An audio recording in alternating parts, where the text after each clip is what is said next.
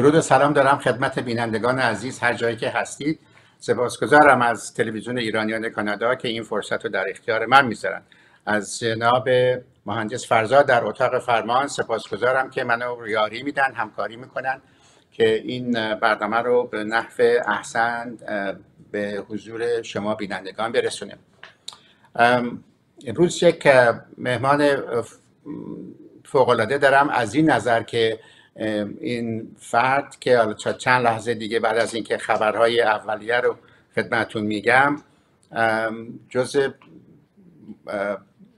در حقیقت سیاسیون نیستن بلکه در تخصصشون پزشکی هست. ولی دستی به آتش دارن که حالا قبل از اینکه معرفی بکنم بریم به سالن. من چند تا خبر کوتاه خدمتون میگم که بریم به کار اصلیمون برسیم.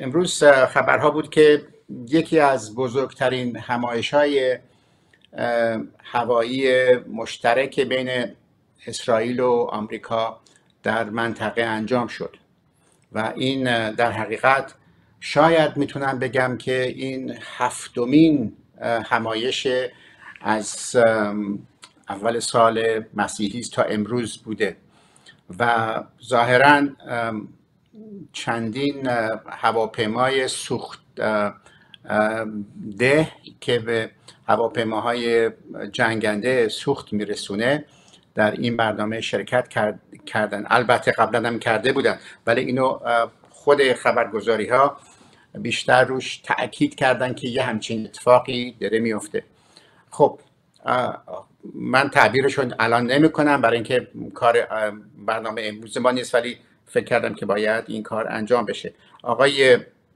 امیر عبداللهیان وزیر خارجه جمهوری اسلامی قرار بود که بره به ایتالیا ولی به خاطر اعتراضات بسیار زیادی که از طرف هموندهانمون ایرانی های مقیم ایتالیا همچنین خود ایتالیایی بسیار شکایت کردن نامه نوشتن تکس زدن و کارهای دیگه و این باطل کردن. ایتالیا این نشست رو باطل کردن. ولی خبر اینی که اونا خودشون جمهوری اسلامی میگن که آقای عبداللهیان کارش خیلی زیاد شده بود نتونستن بیان برن به ایتالیا. یک یکی از هموطنان ما که در برنامه مسابقات جام جهانی رفته بوده به عنوان مدعو یا به عنوان تماشاگر در اونجا. ما چند تا عکس از این داریم. من اینو از این جهت می‌خوام بگم که ما ببینیم که ما در کشورمون افرادی هستن که یک کمی چادرشون میره نه ببخشید روسرشون میره عقب. تا 22 سال ما الان زندانی داریم در, در ایران. ولی این خانوم سیما سهیمپور ساکن آبادان و عضو سپاه هست که پدرشون هم یک سمتی در سپاه دارن. و این اینو من خواستم که در حقیقت جمهوری اسلامی ببینه. ما اینو نه نیمه لخت می‌گیریم نه هیچی. یه چیز لباس طبیعیه که پوشیده. همه جای دنیا شبیه این بسیار زیاد هست. ولی ما در این محصا رو می‌بینیم که به خاطر چند موش کشته شد. و این در حقیقت فاجعه که پیش اومد ادامه داره. من وارد این نمیشم. یک عرض حضورتون که یک ویدیو خیلی کوتاه یک دقیقه داریم. این یک دقیقه رو با همدیگه نگاه می‌کنیم و بعد میریم پیش خدمت مهمان عزیزمون امروز. We need our global media to keep their eyes on Iran. We need our global decision makers to keep their eyes on Iran. who need not to succumb to the despair or disinterest that often follows a surge of attention.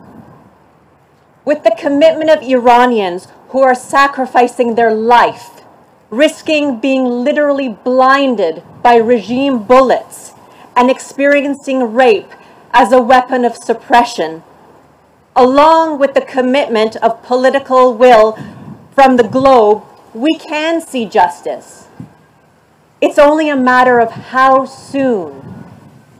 How many more Masa Aminis Nikaz, 10 year old Kian Pirfalax, and peaceful protesters being massacred in the Kurdish regions will it take for the world to not only see with their eyes, but act with their hearts? Woman, life, freedom. بسیار خب این برنامه رو برای این من نشون دادم برای یک دقیقه که این برنامه ادامه داره و تا حدود یک برنامه هنرمندان هست که در اون در اون نشست دیدین. خانم هیلری کلینتون هم در اون نشست بودند. در حقیقت سخنگوی اولیه ایشون بودند.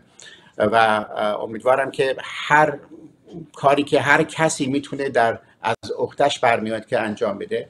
برای شناختن جمهور شناخت شناختن جمهوری اسلامی به جهانیان برای ما ارزشمنده بریم به سالن و مهمان عزیزمون رو بیشتر از این معطل نکنیم. معرفی می‌کنم آقای دکتر سعید گنجی زواره که از اگر ممکنه تصویرش هم بدین. بله. آقای دکتر سعید گنجی زواره درود میگم به شما خوش آمدید سپاسگزارم که دعوت منو قبول کردین. جناب دکتر. درود آقای افشین جم من هم از ونکوور برفی به شما درود میفرستم. بله. گفتید ونکوور من به اصطلاح favorite من یعنی بهترین استانی که من درش بودم در کانادا همون ونکوور حدود 35 سال من اونجا بودم. و توقع نداشتم که شما الان برف داشته باشین و در حقیقت تعجب می‌کنم. در هر صورت آقای دکتر سعید گنجی زواره متخصص پزشک داخلی هستند اپیدمیولوژی یا به فارسیشو بگیم همگیر شناسی هستند که اگر بخوام ترجمه بکنم ایشون استادیار دانشگاه بریتیش کلمبیا یو بی سی هستن. جناب اگر مطلبی داریم بفهمه که من پرسشمو از شما سوال بکنم. نه من مطلب خاصی ندارم و خیلی سپاسگزارم از اینکه این فرصت رو در اختیار من گذاشتید که با شما در این برنامه باشید خیلی ممنون. دکتر اخیرا موضوع این شلیک های ساچمه که الان در ایران رسم شده و بیشترم به طرف صورت می‌گیرن و ما ضایعات بسیار زیادی رو داشتیم. به خصوص ویژه تلفات کودکان. من یادم نمیره که زمانی که در 98 شلیک می‌کردن بسیار به سر می‌زدن. و بعد اون آقای رحمانی فضلی که به وزیر کشور بود بهش گفتن که چرا به سر می‌زنی؟ گفت ما به پا هم زدیم.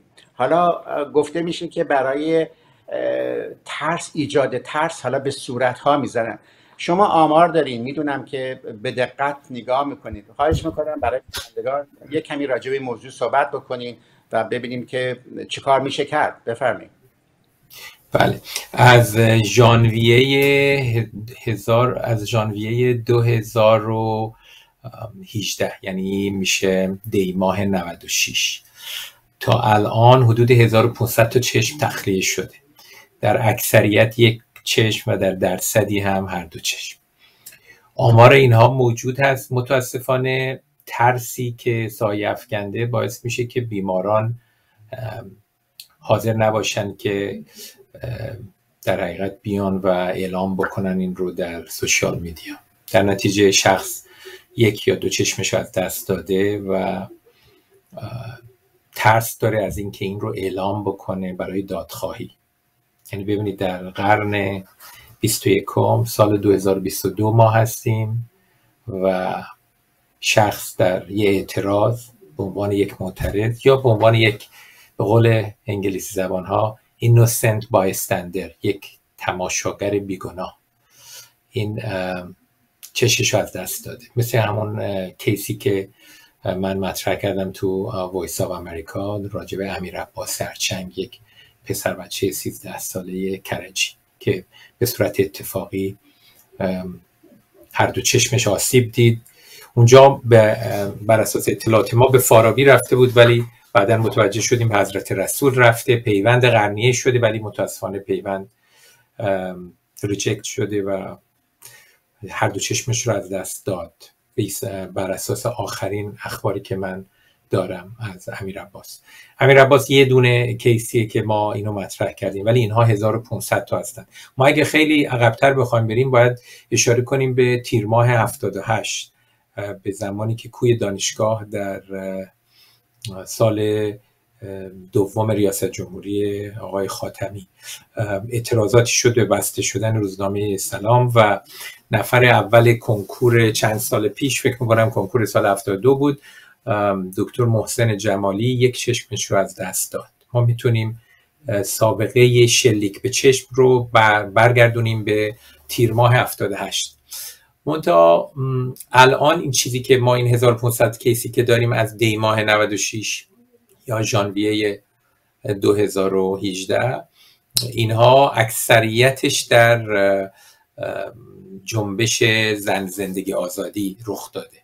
به نظر می‌رسه جهت حراسفکنی و ترس که اینها معمولا شیوه های روسی و چینی هست نوع دیکتاتورهای که در روسیه ما می‌بینیم.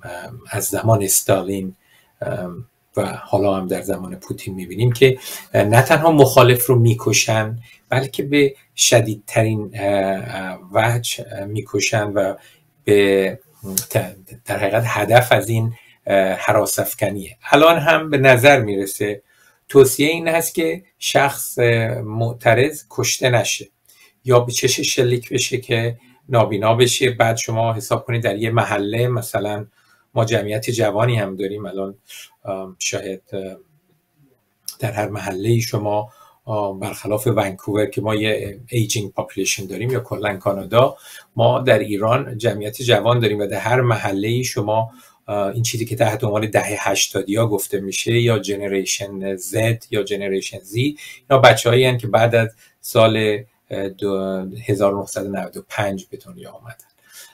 و تا سال 2010 معمولا. یعنی اینها بین 12 تا 27 سال سن دارن. و تو محلات مختلف اینها دیده میشن. شما تصور کنید در هر محله یک نفر یک جوان یک جوان یا یک نوجوان نابینا باشه این و هر روز بیاد بیرون و بقیه ببینن. ولی اگر همین نوجوان کشته شده باشه اون کشته شدنش جای خالیش ایجاد خشم می‌کنه. باعث میشه که محله بیشتر در فکر خونخواهی و در حقیقت اعتراض بیشتر باشن. منتها وقتی شخص نابینا باشه افراد ممکنه یک نوع ترس و واهمه ای از نابینا شدن داشته باشن. اینا بخشای کثیف روانشناسی اجتماعی یا همون سوشیال سایکولوژیه که معمولا اینها از طریق KGB و نیروهای اطلاعاتی روسی آموزش داده میشه متاسفانه. و ما امیدواریم این بار با قطنامه جدید یون سازمان ملل و اینکه کمیته حقیقت یاب تشکیل شده و این مدارک بر اساس پروتکل استانبول. در پروتکل استانبول حتی اگر مریض به دلایل ترس و یا محافظه کاری یا تهدید حاضر نشه اعتراف کنه هیچ مهم نیست و باز هم ما می‌تونیم اینها رو این 1500 case ی رو که داریم به عنوان یک document یا به عنوان یک سند به کمیته بفرستیم. و امیدواریم جوری بشه. یعنی نهایتا به جایی برسیم که جرأت چنین کاری از نه تنها در ایران بلکه هیچ کشوری از این به بعد جرأت نکنه که با نابینا کردن مردم در صدد گسترش ترس باشه. این, این یک در حقیقت توافق جهانی بشه که از این به بعد چنین جنایتی جلوگیری بشه. ما یادمون باشه که در سال 1988 تابستان 1988 5000 زندانی سیاسی کشته شدن و ما واکنش خاصی نه از مردم دیدیم و نه از مجامع بین این همون دولتیه که تونست 5000 زندانی سیاسی رو در عرض دو هفته اعدام کنه. بعد الان خب به جایی رسیده که نمی‌تونه نمی‌تونه اون کار رو انجام بده و این نتیجه تلاش های بچه های بچه هایی هست که توی هیومن رای توی حقوق بشر فعالیت می‌کنن توی سی سال گذشته و یک رژیمی که می اومد در خارج از کشور مخالفاش رو سلاخی می‌کرد الان به جایی رسیده که در داخل کشور هم نمی‌تونه اونجور که دوست داره سرکوب کنه مخالفاش. من فکر می‌کنم که ما همین مسیر رو باید ادامه بدیم و امیدوارم که این مبارزه که شروع شده نهایتا به پیروزی مردم ایران به انجامه و ما بتونیم اون چیزی که به قول شروین برای یک زندگی معمولی حسرتش رو می‌کشیم نهایتا بهش برسیم. بله. دکتر راجر همین موضوع آیا در جمهوری اسلامی در ایران فسیلی تسهیلاتی هست برای تخلیه و و ترمیم احتمالا آیا هست یا اینکه تعداد بسیار زیاد هست و نمیشه به این مریض ها و این اینا که ضرب بهشون خورده شده رسید. نظر شما چیه؟ و بعدم اگر پیشنهادی دارین در این مورد که من با یکی از همکاران شما که صحبت می کردم و در این مورد ما یک صحبت هایی رو کردیم که امیدوارم که به یه جایی برسه ما بتونیم از حکومت کانادا بتونیم کمک هایی رو بگیریم که البته روی سخن هم فقط کانادا نیست بلکه تمام اون کسانی که شما اشاره کردین حقوق بشری ها بتونن در کشورها خودشون همچین صحبتی که حالا بعد از صحبت شما من اشاره خواهم کرد بتونن که راه اندازی بکنن. من در خدمتتونم. خواهش می‌کنم. نه ما چشم پزشکی ایران آقای افشین جمع خیلی سطحش از دهه هفتاد چشم پزشکی ایران رشد عجیبی داشته و ما تو دهه های گذشته هم مرتب چشم پزشکان ایرانی به خارج از کشور اومدن با با تکنیک های جدید آشنا شدن و چندین مورد هست از بچه های چشم پزشک که به آمریکا اومدن و تونستن حتی بدون گذراندن رزیدنسی وارد سیستم پزشکی ایالات متحده بشن در پزشکی چشم پزشکی ایران اون قسمت شایسته سالارش البته بگم این رو. چون ما یک قسمت رانتی داریم که یه سری افراد وابسته به حکومت خودشون اومدن و چشم پزشک شدن. ما با اون قسمت کاری نداریم. ما اون قسمت شایسته سالار چشم پزشکی ایران خیلی قابل تقدیره و اخیرا می‌دونید 120 تا از چشم پزشکان ایرانی نامه نوشتن به رئیس انجمن چشم پزشکی دکتر جباروند یادآوری کردن که این حجم از تخلیه چشم یک ضایعه تاسف باره و خب این خیلی این نامه خودش بالاترین سنده و حتی ما نیازی به اون 1500 case هم دیگه نداریم. با این نامه عملا ادعای ما ثابت شد و New York Times هم می‌دونید که نامه رو چاپ کرد و مقاله نوشت در این تخلیه های چشم که مرتب انجام می‌گیره. نه ما از نظر فسیلیتی مشکلی نداریم. اینکه یه چشمی که آسیب دیده و دیگه قابل حفظ کردن نیست تخلیه بشه. منتها این شخص میترسه از اینکه بره به بیمارستان برای اینکه بعدش باید به زندان بره. پس ترس عاملیه که باعث میشه افراد تو خونه بمونن. این چشم عفونت می‌کنه. عفونت چشم می‌تونه به سایر نقاط بدن بره و می‌تونه حتی منجر به مرگ شخص بشه. اینه که الان دوستمون در ونکوور دنبال یک non for profit organization هست به نام Iranian Relief for Injured Eyes مخففش میشه IRIS I R I S این Iranian Relief for Injured Eyes. قصد داره که کمک های مردمی رو در خارج از ایران جمع کنه و بتونه اینها رو بفرسته برای ایرانیانی که چشمشون در این اعتراضات و در این جنبش جدید پس از مرگ محسا امینی دچار آسیبای چشمی شدن.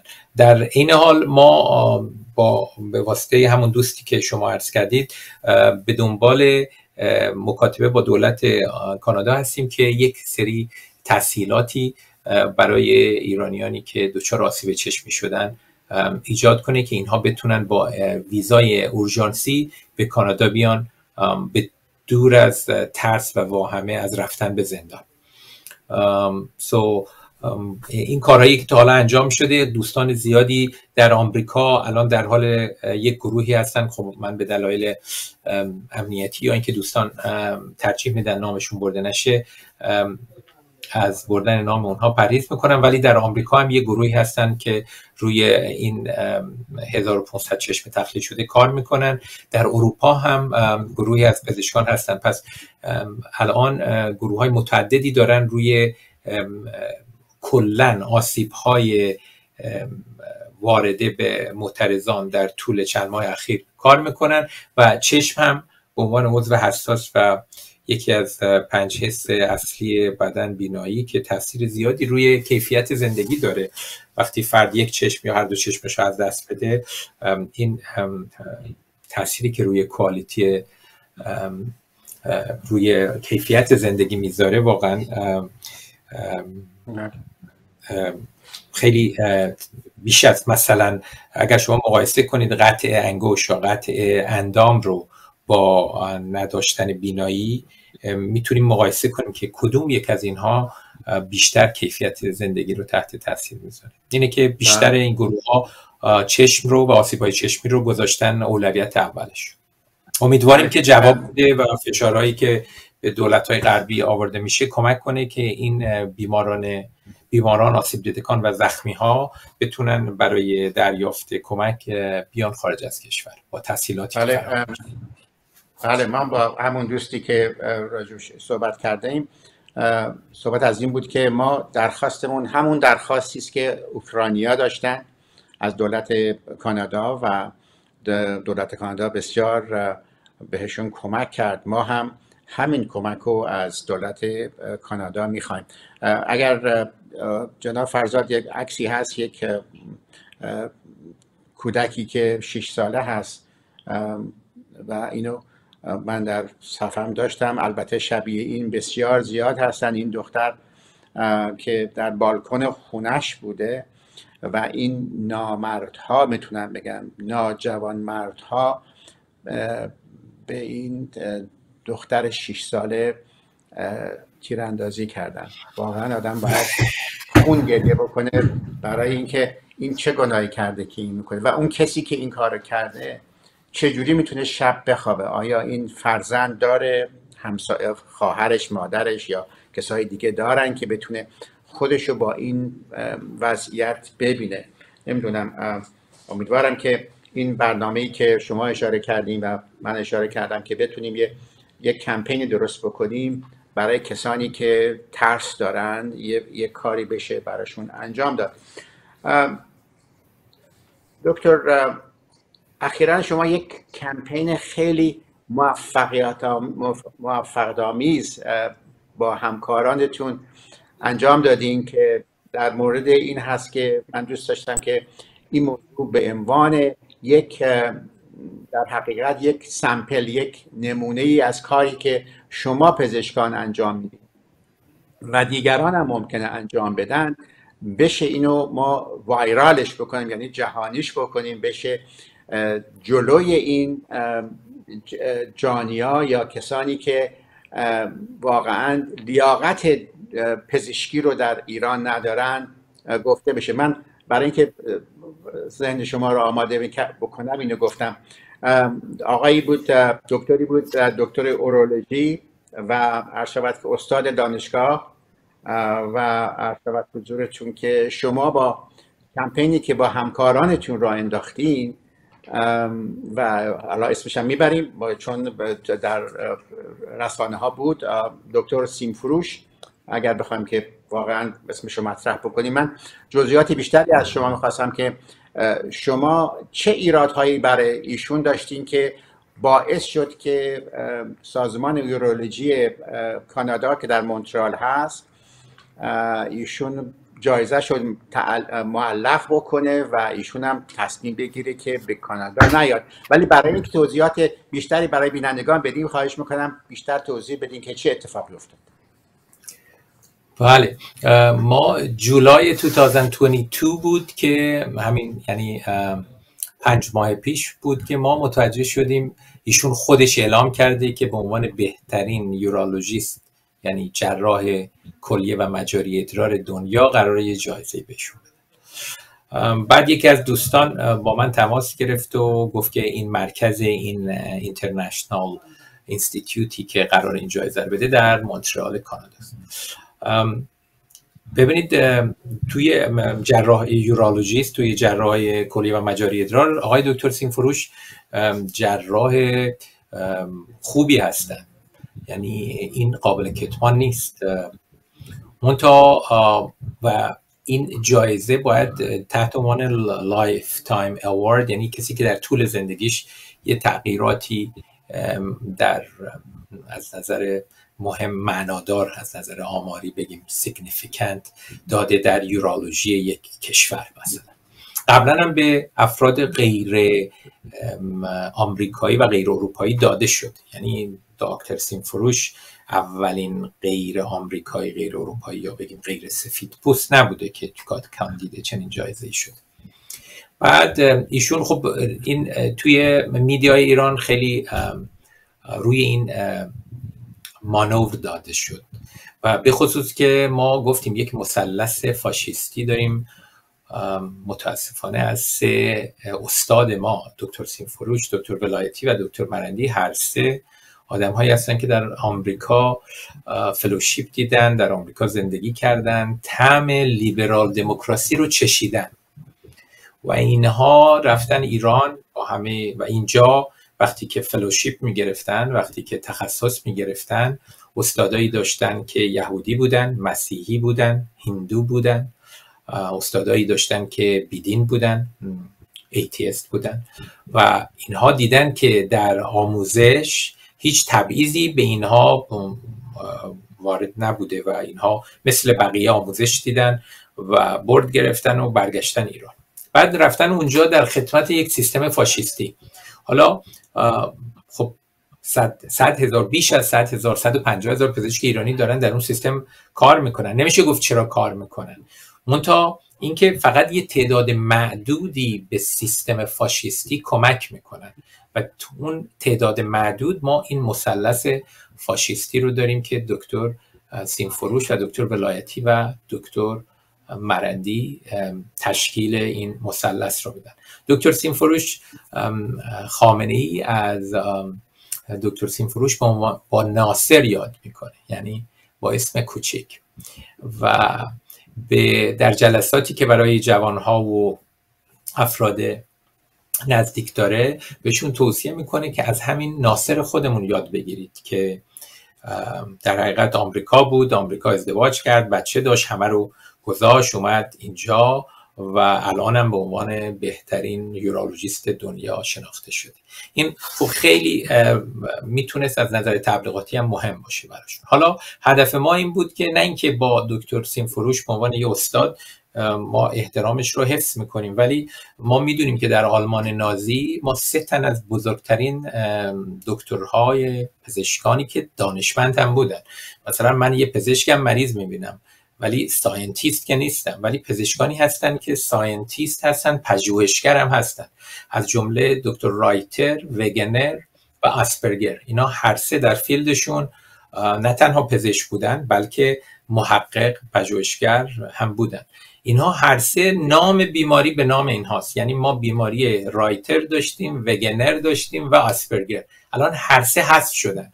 برای اینکه مشخص شده که اینها با سیستم همکاری می‌کردن. نه اینکه خودشون شخصا برن کسی رو اعدام کنن یا یه نفر رو توی کوره آدم‌سوزی بندازن یا اتاق گاز. مثلا دکتر آسپرگر 35 تا کودک رو معرفی کرده به عنوان نان یوزفول.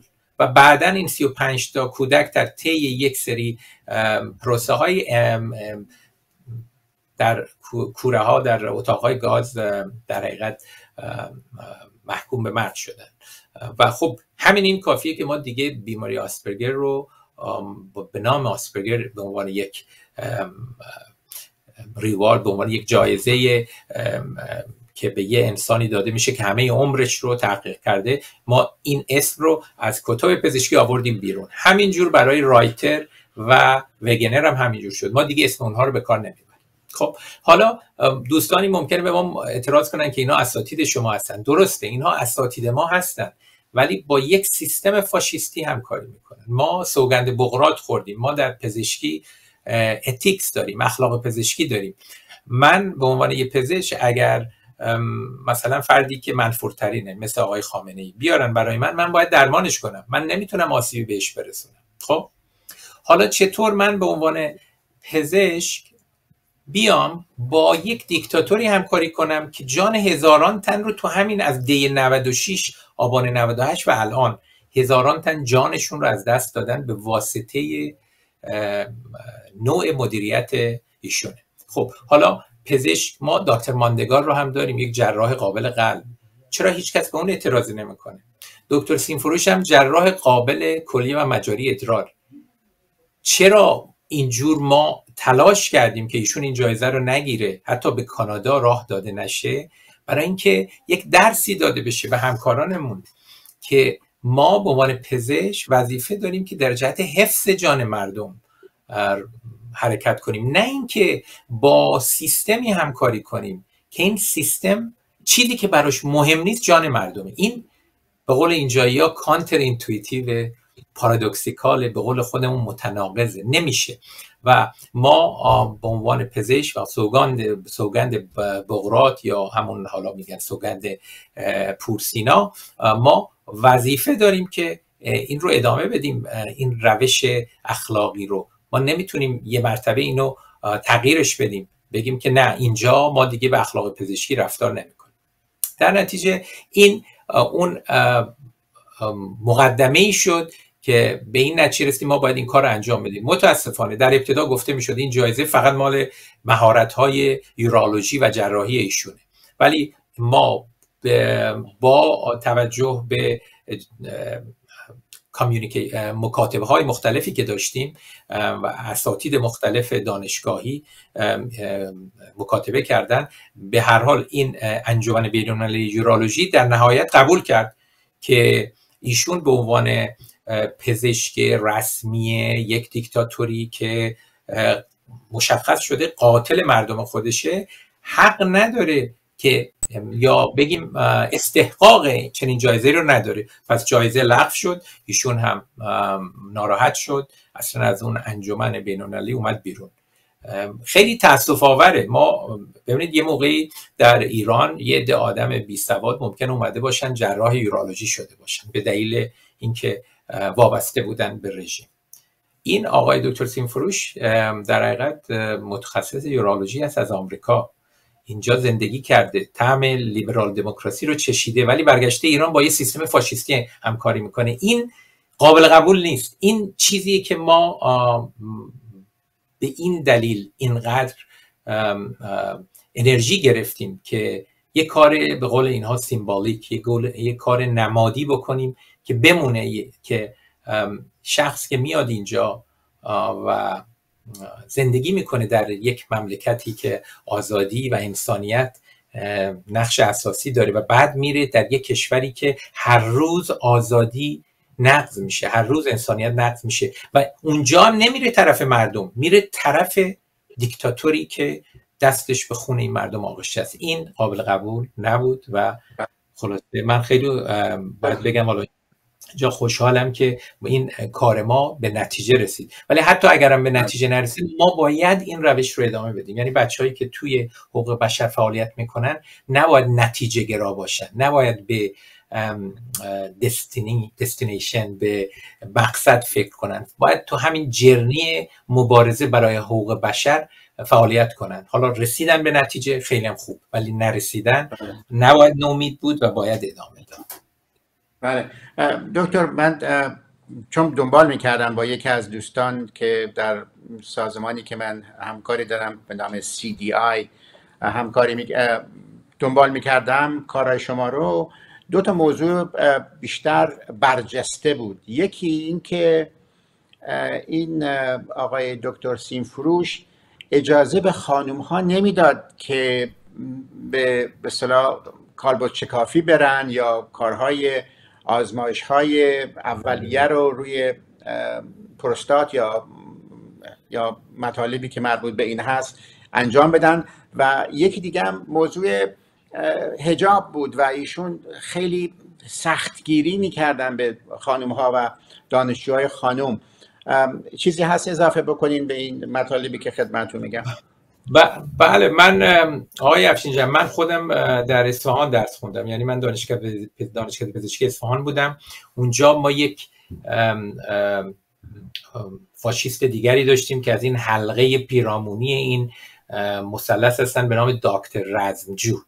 این دکتر رزمجو چشم پزشک بود چشم پزشک قابلی بود ولی به شدت عقاید فاشیستی داشت و باور نمی‌کنید که در دانشگاه با ماشین خودش با ماشین خودش دخترهایی که مثلا جوراب رنگی داشتن سوار ماشین می‌کرد.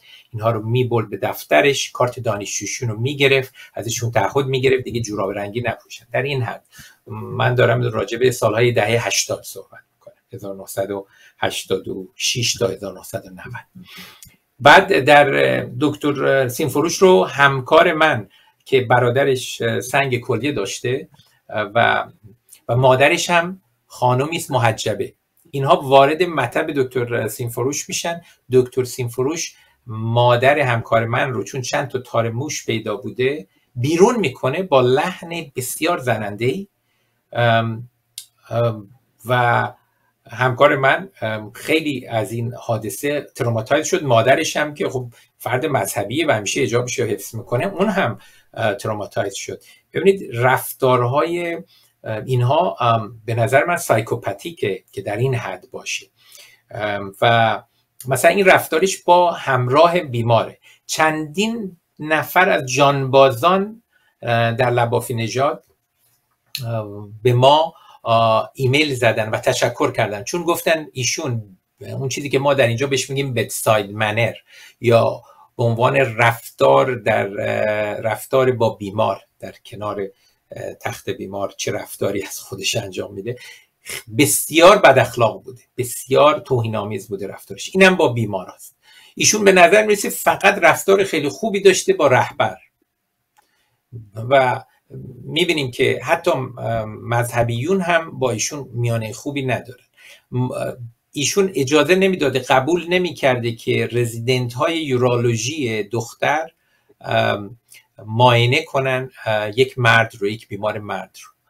یکی از چیف رزیدنت ایشون تعریف می‌کرد می‌گفت من پرده میکشیدم صبح که می اومدن انترن ها و رزیدنت های دختر رو میفرستادم اون طرف پرده که ایشون متوجه نشه. چون اگه متوجه می‌شد مخالفت می‌کرد. می‌گفت دختر حق نداره پسر رو یا مرد رو معاینه کنه. و مثلا این هم از یه نوع سکسیزم دیگه در سیستم لیبرال دموکراسی این که شما اجازه ندی چنین تیچینگی رخ بده در حقیقت سکسیزم. بعد گذشته از همه این discrimination هایی که ایشون داشت از جمله اینکه به افراد می‌گفته قرآن بخونید اگه بلد نبودن اون rotation رو اون یک ماه رو fail می‌کردن. یعنی اونها باید تکرار می‌کردن. خب این هم یه نوع discrimination ه یه نفر ممکنه زردشتی باشه یه نفر ممکنه اصلا مسلمون هم باشه ولی قرآن بلد نباشه. شما که در بخش urology مسئول سنجش اعتقادات دینی نیستی. پس اون هم یه نوع تبعیض بوده. در کنار همه اینها که بگذاریم ایشون دو تا کار فوق العاده اشتباه کرد. یکی اینکه بعد از شلیک دو موشک سپاه پاسداران به هواپیمای مسافربری. ایشون اومد نامه نوشت در پشتیبانی از سردار حاجی زاده که این به نظر من برای پزشک که بیاد از یک پاسدار بی سواد قاتل حمایت کنه واقعا دون شن پزشکی بود. و اینها هفتاد تا پزشکن که اون دایره پیرامونی اون مثلث رو تشکیل میدن. خوشبختانه اینا اومدن نامه رو امضا کردن. نامهشون هست و هر هفتاد تا اسم هم در سوشیال مدیا هست. بعد نفر اولشون هم آقای دکتر مرندی هست که ایشون پزشک متخصص کودکان و فوق تخصص نوزادان از آمریکا هستن و سرتیم پزشکی رهبر هم هستن. و بله. ایشون هم همین دفاع کردن از سردار حاجی زاده کار زشت و غیر علمی دیگری که ایشون کردن این بود که یه نامه ای امضا کردن در پشتیبانی از فرمان رهبر در ممنوعیت ورود واکسن های کووید واکسن های آمریکایی و انگلیسی. و بعد ایشون یورولوژیست هیچ حالا بگذاریم از رهبر که تو هر زمینه ای اظهار نظر می‌کنه. اون خب به جای خود ولی اینکه یک پزشک تحصیل کرده آمریکا و آشنا با evidence based medicine و آشنا با روش علمی و scientific thinking بیاد و یه نامه ای رو امضا کنه که در ممنوعیت ورود. و بعد هم بگه واکسن هندی بود. واکسن هندی شیش ماه بعد اومد. واکسن هندی که در زمانی که ما ممنوع کردیم فایزر و آکسفورد رو اویلیبل نبود در دسترس نبود. در نتیجه ایشون داره فرار به جلو می‌کنه. بله شما در سپتامبر 2021 واکسن هندی در ایران بود. ولی در ژانویه 2021 که روزی هزار نفر در بهشت زهرا دفن می‌کردن به خاطر مرگ در اثر کووید چنین واکسنی در دسترس نبود. ایشون با امضای این دو نامه در حقیقت کل به قول اینا کوریر یا کل کارنامه پزشکی خودشون رو زیر سوال بردن. همونچون که من گفتم لازم نیست ایشون خیلی سیاسی باشن طرف مردم باشن نه. ما جراحای قابلی داریم مثل دکتر ماندگار جراح قلب. کار خودش انجام میده و مردم هم قدردانی می‌کنن. دکتر سینفروش هم می‌تونست. یورولوژیست خوبی همونجور ادامه میده. خودش با کارهایی که کرد کارنامه و یک عمر تلاش خودش رو در حقیقت نابود کرد. و البته زمان همیشه هست مردم همیشه آغوششون بازه برای عذرخواهی برای پوزش خواهی و ایشون به جای اینکه برن پیش رهبر و 14 سکه طلا جایزه بگیرن و تصمیم بگیرن انجمن یورولوژی خودشون رو داشته باشن بهتره به آغوش مردم بازگردن به اشتباهشون اعتراف کنن بگن در نامه واکسن اشتباه کردن در نامه پشتیبانی از سردار حاجی زاده اشتباه کردن. مردم هم قبول می‌کنن. مردم ما با کسی که عذرخواهی کنه پوزش بخواد در صدد انتقام یا مجازات نیستن. من فکر می‌کنم این گذشته تاریخی ما این رو نشون داده ما با مغول ها کنار اومدیم و اونها شدن بخشی از ایران جنایت مغول ها جنایت خیلی شدیدی بود در حق ایرانی ها. در نتیجه من فکر می‌کنم که دکتر سینفروش به عنوان استاد ما وقت داره زمان داره که با آغوش مردم برگرده و با عذرخواهی از نامه های بی ارتباط به رشته خودش که امضا کرده مردم قبول خواهند کرد و امیدوارم که همه افراد همه پزشکان و دانشمندان و تحصیل کردگانی که با یک سیستم فاشیستی همکاری می‌کنن تصمیم بگیرن به آغوش مردم بازگردن و عذرخواهی کنن از کارهایی که در گذشته انجام دادن و این یک شروعی بشه برای همه ما به عنوان ایرانی. در هر کجای دنیا هستیم که برگردیم به کشورمون و بتونیم اون کشور رو دوباره بسازیم و بریم به سمت آبادی. از این بله. فاجعه ای که داره رخ میده بیایم بیرون و جلوی تخریب بیش از حد مام میهن رو بگیریم. خلاصه. بله. البته دکتر من نمی‌دونم کسانی که عزیزانشون رو از دست دادن به خاطر عدم واکسن واقعی و کسانی که می‌دونم می‌دونم اینو به درستی می‌دونم که کسانی بودن که سرمایه زندگیشون رو از دست دادن رفتن که واکسن های مختلفی رو از کشورهای مختلف آوردن یا خریدن و متاسفانه کار نکرد و مردن. بنابراین من فکر کنم که همچه که شما اشاره کردید عذرخواهی و پوزش و خودشون رو جدا بکنن از جمهوری اسلامی کمک می‌کنه ولی بالاخره به نظر من البته باید این افراد باز هم محاکمه بشن. شما راجع به اون موضوع هجاب و اینا رو صحبت کردی؟ من یک مثالی برام این مثال که نه یک واقعی بوده دکتر بود. شما گفتین از اصفهان هستین. یک دکتری بود که دکتر جراح پلاستیک بود برای صورت و اندام بدن. این متاسفانه این اتفاقا در ونکوور هم زندگی می‌کرد. وقتی که می‌رفت و اومد هر چند ماه می‌رفت و میومد کارش انجام می‌داد. متاسفانه اثر تصادف رانندگی که ما سالانه حدود 20 22 هزار نفر کشته داریم در این ایشون هم یکی از اونا بود که فوت کرد. تعریف می‌کرد میگفتش که یک خانمی اومده بود محجبه با مادرشون و می‌خواستن که کار جراحی بکنن صورت یا هر جای دیگه بدنشون من وارد نمیشم و و بعد تنها کاری که گفت من از شما می‌خوام هر چقدر پول بخوام بهتون میدیم.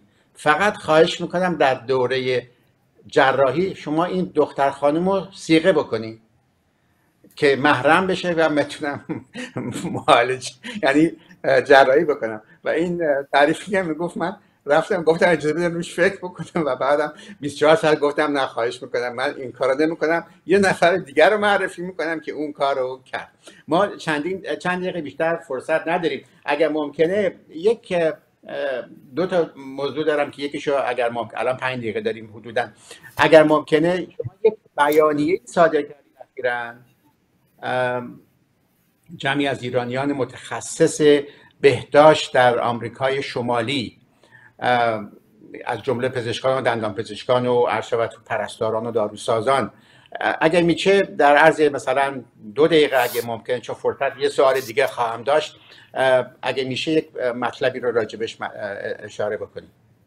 بله. این بیانیه رو پزشکان آمریکای شمالی دادن برای همه مجامع بین المللی این بیانیه روی سه نکته روی شش نکته ببخشید تاکید داره. نکته اول اینکه همه healthcare worker ها بهداشتگران یا پزشکی و پیراپزشکی یعنی این پزشکان دندان پزشکان داروسازان پرستاران فیزیوتراپیست ها اورژانس پرسنل اورژانس همه افرادی که الان زندان هستن به دلیل حمایت از معترضان زخمی شده اینا باید بلافاصله آزاد بشن. محاکمه نیازی نیست. اینا بدون جهت زندانی شدن باید بلافاصله آزاد بشن در مورد اون زخمی هایی که از بیمارستان برده شده به زندان اونها هم باید آزاد بشن. فرد زخمی باید درمان بشه. بعد اگر واقعا کاری کرده برخلاف قوانین مدنی اون وقت بره به دادگاه وکیل بگیره و مثل یک انسان محترمانه در دادگاه از خودش دفاع کنه. اینکه زخمی رو از روی تخت بیمارستان ببرن زندان پذیرفته نیست. و نکته سوم این که باید هیچ نوع تهدیدی به پزشکان نشه. پزشکان الان می‌خوان مثلا ساچمه های یک مریض زخمی رو در بیارن. این نباید تهدید بشن که اگه در آوردید زندان میرید. این باید متوقف بشه. نکته چهارم این که نباید اینها میرن در اورژانس ها و به پزشکان و پرسنل اورژانس حمله می‌کنن. حتی به داروخانه ها حمله کردن. داروخانه ای که مثلا به یک نفر زخمی حتی برای پانسمان کمک کرده رفتن داروخانه رو داروساز رو پرسنل داروخانه رو شدیدن زدن و داروخانه رو شیشه ها رو شکستن و قارت کردن داروخانه رو. این کارها باید متوقف بشه. نکته پنجم این که باید اصلا نیروهای نظامی و شبه نظامی مثل بسیج اینها حق ندارن به هیچ بیمارستانی وارد بشن. بیمارستان مال کسایی که در اونجا کار می‌کنن و مال کمک رساندن به بیماران و زخمی ها.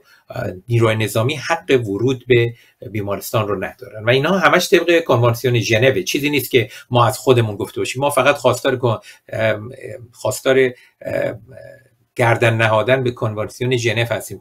کنوانسیون ژنو توسط ایران امضا شده. چیزی که امضا شده باید اجرا بشه. و نکته آخر ششم هم این بود که اینها نباید از آمبولانس استفاده کنند موارد زیادی مشاهده شده document شده و اینها میرن از آمبولانس ها استفاده می‌کنن برای بردن زخمی ها به زندان برای بردن معترضین به زندان. حتی دیده شده از آمبولانس اینها شلیک شلیک می‌کنن به مردم معترض. این کارها هم بر ضد قوانین کنوانسیون ژنو است باید متوقف بشه. ما این اطلاعیه رو تا حالا دویست نفر از پزشکان آمریکای شمالی امضا کردن. همینجور داره بیشتر امضا میشه و برای همه مجامع بین‌المللی فرستاده شد. بله خیلی ممنون که فرصت دادین یک دقیقه مونده. اگر این یک دقیقه رو بتونین هر توصیه دارین برای پزشکان همکارانتون یا به مردم وقتمون خیلی کمه. اگر میشه همین در چند در چند جمله یا هرچی اضافه بکنین و اضافه بکنم که می‌خوام که در دفعات دیگه شما و دیگر دوستان در اون گروهی که هستین فرصت بدین که با شما و دیگران مصاحبه داشته باشم. خواهش می‌کنم بفرمایید. خب، من برای من که اینجا در ونکوور نشستم راحته که توصیه کنم به همکارا و دوستانم در ایران. منتها تنها چیزی که می‌تونم بگم اینه که ناامید نباید شد. و مهم نیست ما چند روز دیگه چند هفته دیگه یا چند ماه دیگه به هدف برسیم ما باید این همبستگی با هم بودن رو ادامه بدیم و در راه احقاق حقوق انسانی خودمون مبارزه کنیم.